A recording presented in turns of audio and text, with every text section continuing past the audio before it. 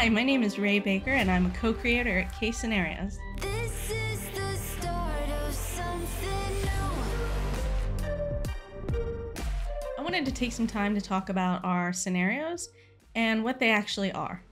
If you are a true crime fan, you've no doubt seen people investigating things online. That rush of excitement when you find a piece of evidence and you get to pivot from one data point to the next to the next, unraveling the entire case.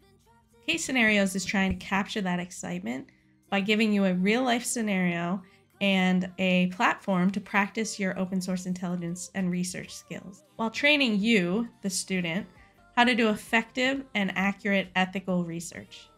Through different roles and situations, you'll be able to see how your data and information that you dig up is put to use. Whether it's a private investigator working a murder case or you're role playing as an investigative journalist digging into a local conspiracy theory. At Kase, you're able to practice the things you learn and that you will do on the job. Kase helps you take those tangible skills you've learned in other trainings and put them to use.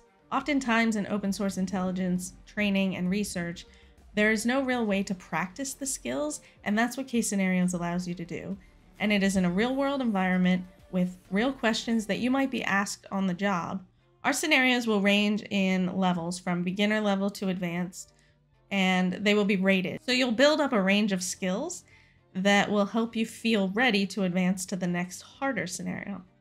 So if this sounds great to you and you want to learn how to get involved with our scenarios, you can go to kasescenarios.com and check us out there, and we will have a catalog of our currently offered scenarios.